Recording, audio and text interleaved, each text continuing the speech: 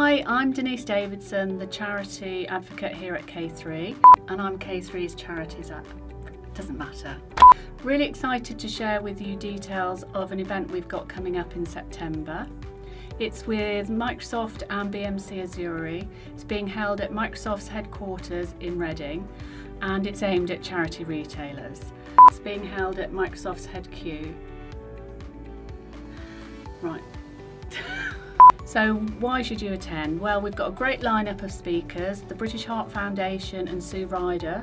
They're sharing details about how they're preparing for the future and using technology to help drive business from their stores and um, maybe best not doing it in one go.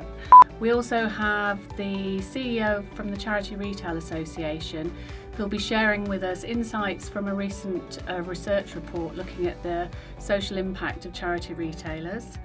And um, all in all, it should be a great day. Really hope to see you there.